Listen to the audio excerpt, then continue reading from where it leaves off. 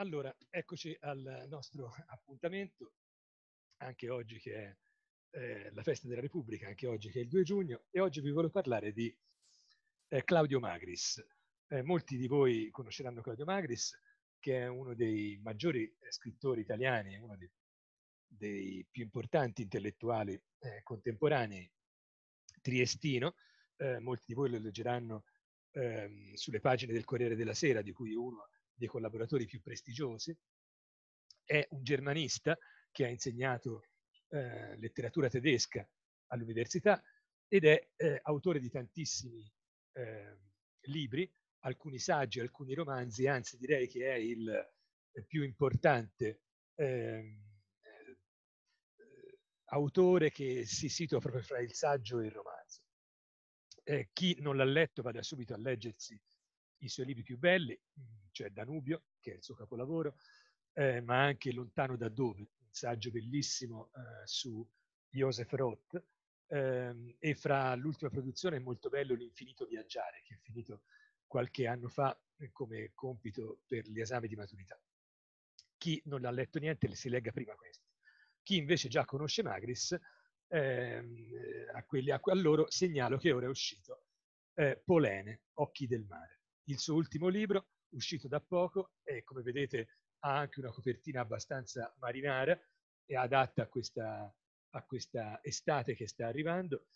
E c'è appunto una polena, come vedete in copertina, il titolo è Polene e occhi del mare. Sapete che cosa sono le polene? Sono eh, quelle statue di legno che decoravano la prua delle navi un tempo. E ehm, per decorazione, sì, ma forse anche per togliere il malocchio. Eh, loro guardavano il mare e guardando il mare vedono eh, quello che succederà, vanno avanti, eh, guardano l'infinito. Ecco, mh, appunto, mh, occhi del mare perché i loro occhi spalancati sono un po' la caratteristica eh, del, mh, delle polene che cominciano con la prima barca, quella degli Argonauti, era un ariete, dice Magris, eh, era invece Afrodite, la polena della nave che, con cui Paride eh, rapì Elena di Troia, e poi molti animali come polene, eh, molte decorazioni, ma soprattutto donne. Ecco, le polene sono donne. E in questo libro Magris ci accompagna in un viaggio appunto eh, molto documentato. Lui è stato nei musei delle polene, ce n'è uno, un paio ce ne sono anche in Italia, uno alla Spezia, uno a Milano, ma anche altri in tutto il mondo. E ehm, queste polene che hanno questa caratteristica molto eh, unica, direi, eh, di, mh, mm, perché, dice Magris, fissano il tremendo. Eh, con i loro occhi vuoti, eh, inespressivi, ehm, guardano eh, dalla prua la navigazione. Eh, sono di una bellezza astratta, dice Magris, non sono opere d'arte come quelle che si vedono alle gallerie dell'Accademia, agli Uffizi al Bargello al Louvre. Ehm, sono di una bellezza un po' insignificante, eh, vagamente neoclassica, eh, molto inespressive, in colori come l'acqua, dice Magris. E ehm, il vortice del vento le increspa, e quel vortice del vento che increspa le onde, lo vedete, ehm, fa un po' sembrare che si prolunghi anche nella veste fluttuante eh, delle polene fatte di legno e di acqua eh, continuamente rimescolate. Che, ecco, questo libro è un po' uno scandaglio di questi schermi tra il navigante e quel caos sublime che è il mare. È meraviglioso ma anche terribile, per cui la polena eh, può vedere eh, tipo Cassandra una, una, una tempesta che arri arriverà, una sciagura, un naufragio che lo vedrà per prima, una tromba marina, oppure potrà vedere l'approdo felice eh, eh, in porto. E di queste polene, dice Magris, alcune sono bellissime, eh, anche eroticamente, col seno scoperto, altre invece sono eh, piuttosto arcigne e, e sgradevoli, eh, perché dice sempre Magris, eh, insomma, la donna ha questa, eh, nell'immaginazione di una ciurma che è soprattutto maschile, ha questa doppia valenza, sia di bellezza, di speranza di ritornare a casa, ma anche a volte, no, a volte eh, chi, chi, c'è a casa è una rompiscatole, è meglio ricordarsela e metterla come polena. Eh, a volte insomma fan fatali, a volte invece eh, sono immagini così fantastiche, a volte sono addirittura eh, ritratti delle persone care rimaste a casa, della moglie, della figlia. Eh. Ehm, Magris è bravissimo nel raccontarle, raccontare soprattutto quelle più vissute, quelle antiche nei musei, tutte smangiate, corrose dall'acqua, scavate come teschi che sembrano eh, persone morte vissute moltissimi anni fa.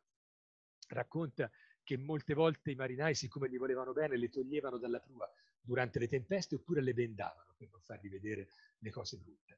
E, e poi una volta che hanno finito il loro compito, sono finite a adornare qualche taverna sul porto, magari. Eh, un, gli indigeni che ne trovarono una la adorarono come una dea. Eh, insomma, eh, sono moltissime le, le, eh, i racconti che Magris fa e, ed è anche un libro, ve lo voglio far vedere, al tempo stesso anche molto illustrato. Ci sono moltissime polene, se voi lo vedete, eh, ci sono moltissime illustrazioni e è tutto pieno di polene. È un libro molto, eh, molto lussuoso e ecco, vedete, tutti i tipi di polene, quindi lui ogni tanto le racconta, ogni tanto le fa vedere. Eh, ci sono polene con Lincoln, eh, polene con Cleopatra, insomma c'è un po' di tutto. E eh, lo scandaglio straordinario di Magris è, è, mh, mm, è sempre quello eh, a metà fra il saggista e il romanziere.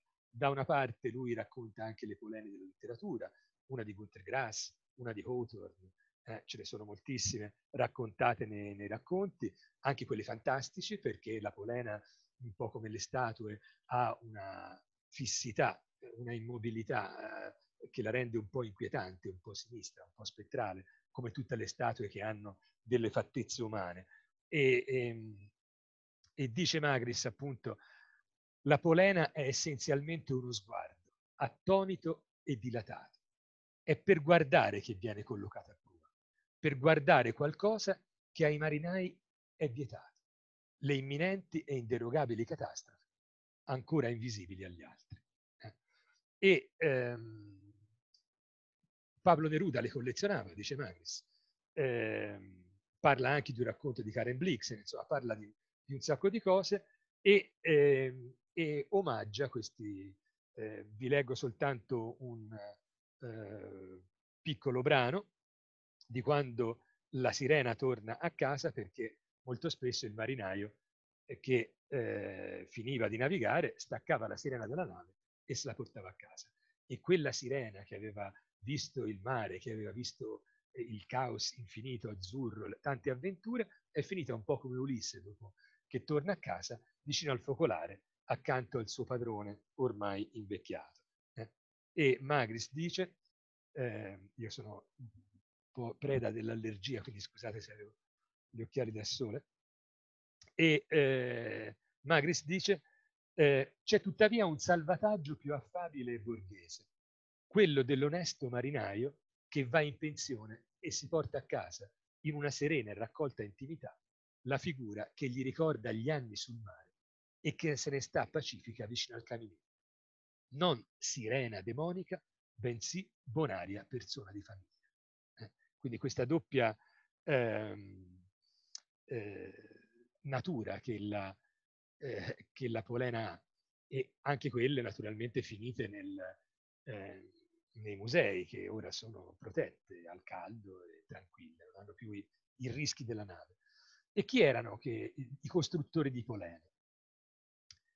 Eh, nonostante la vicinanza, in alcuni casi, con alcuni madonnari, i tipici scultori di polene sono soprattutto onesti artigiani di botteghe protestanti, di un'arte esercitata come sobrio e schietto lavoro, nell'intimità casalinga di un'officina che sconfina con la famiglia ed è retta da una semplice e limpida operosità.